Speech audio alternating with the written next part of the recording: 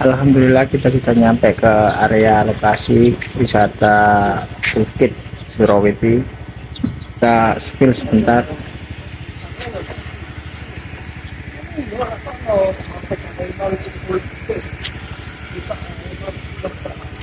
Welcome wisata Bukit Suraweti Bukit Suraweti yang terkenal di desa Suraweti Kecamatan Panceng, Kabupaten Gresik disebut-sebut sebagai petilasan pertapaan Sunan Kalijogo. Lelah guys, perjuangan.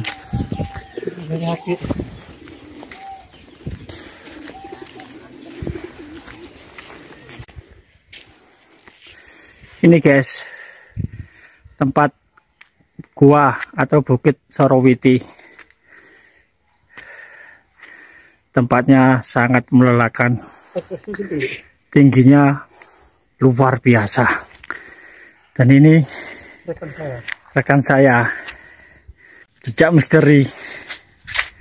Uh, sangat luar biasa. Melelahkan. Masih menunggu rintangan selanjutnya kita, lan kita lanjutkan perjalanan lagi guys doanya ya semoga sampai Bismillahirrahmanirrahim Bismillahirrahmanirrahim Enak kan ini, lihat pondok tambah bot. Tambah bot, lihat datar.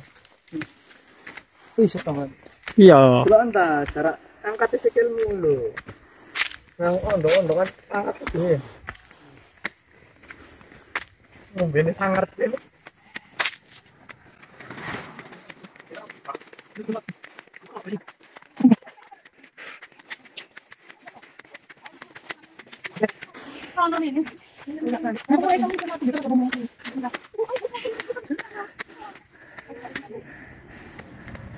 Dengarkan saya guys, sangat curam dan sangat tinggi sekali.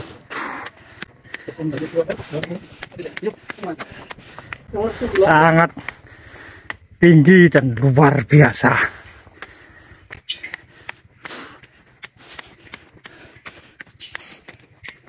Dan alhamdulillah akhirnya kita sudah sampai ke pos 1 jangan lupa ikutan kami terus ya guys. Karena masih banyak misteri yang ada di Bukit Sarawiti ini.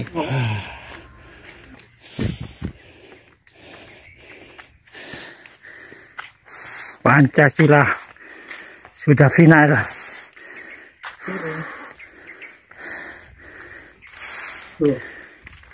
Belum sama rakyat TNI kuat. NKRI harga mati.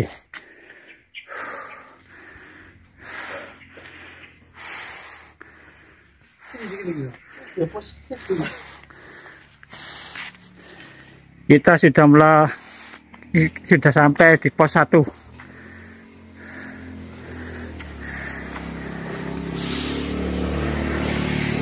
Thank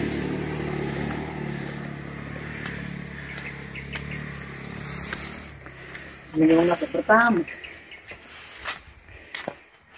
hindi gede kamu juga kan apa nih Hah? Koi. Jumpa apa lo? Nang kono lho si dhuwur. Kono dorong yuk. Munggah sana. Masih naik, guys. Hah? Mesin. Bodoh. Nih. Iya, Lu. Lurus ah? Iya. Ayo. Arah situ ke makam Empu Supo. Empu Supo ini adalah salah seorang yang terkenal pada masa kerajaan Majapahit. Beliau memiliki ilmu pemerintahan dan kesaktian atau kanuragan yang tinggi. Dan di depan itu adalah denah wisata Bukit Sarawiti yang semua itu ada di dalam kompleks Bukit Sarawiti ini. Ada petilasan makam Kalijaga makam Pusupo makam Mbah Sloko makam Raden Tubagus Mataram dan ada beberapa gua di antara gua Lingse, gua Lumbung dan gua Macan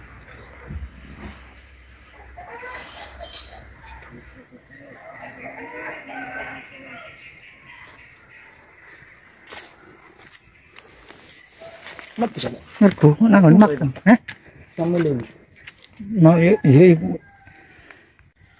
dan kita sudah di tempat area atau di tempat pas di depan itu tempat persarian atau makam Mbah Sunan Kalijaga kita sepil atau kita lihat-lihat di depan sini dulu ini ada dua makam atau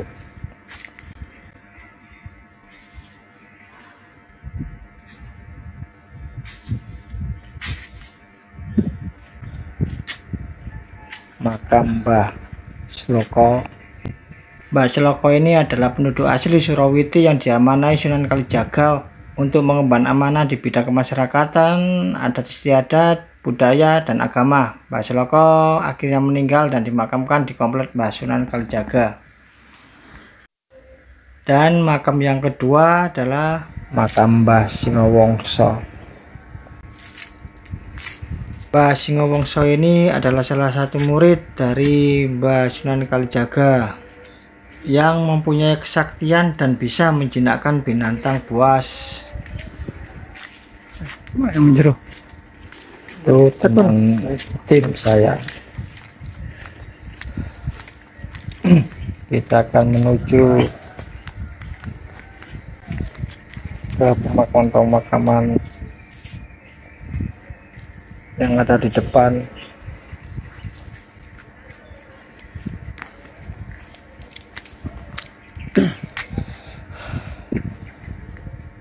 dan ini tempat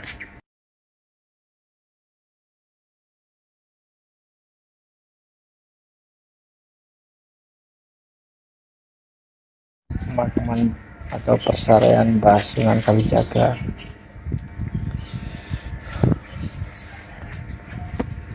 Kita masih dulu ya guys. Assalamualaikum. Bismillahirrahmanirrahim kita masuk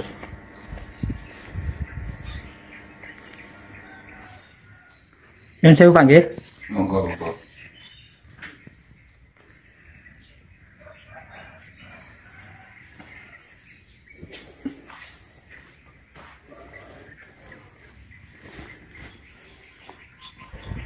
Nah, tepatnya di sini.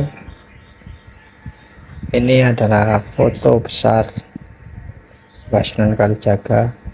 Dan di dalam situ ada persarian beliau. Tapi tidak bisa dibuka karena kata si juru kunci bisa dibuka setiap hari Senin dan Kamis. Kita tidak bisa masuk dan kita kita bersama tim mau kirim fatihah dulu ya guys. Dan setelah kita berdoa akhirnya kita melanjutkan perjalanan. Jika melihat papan arah kita diarahkan ke Gua Langsi. Gua Langsi konon adalah tempat tinggal Beranda Lokajaya. Nama julukan Raden Said sebelum mendapat pencerahan melalui Sunan Bonang yang saat itu masih menjadi pemimpin begal yang berjuluk Berandal Lokajaya dan di depan itu kita diarahkan ke gua. Akhirnya kita menuruni anak tangga dan di depan sudah terlihat area gua Langsi. Sebelum kita memasuki gua Langsi tersebut kita lihat-lihat dulu di sekeliling komplek Bukit Sorowiti ini dan kita diarahkan ke jalur atau jalan entah ke mana ini. Dan akhirnya kita diarahkan ke makam Empu Supo. Empu Supo ini merupakan adik ipar Sunan Kalijaga dan sekaligus santri Sunan Kalijaga Empu Supo ini sakti guys dan bisa membuat pusaka. Jadi kalau ingin mencari keris atau pusaka datang aja ke Empu Supo tawasul pada beliau. Dan di dekat ini ada sebuah gua yang dinamakan Gua Macan. Gua Macan ini konon ceritanya sebagai tempat macan peliharaannya Ki Singowongso.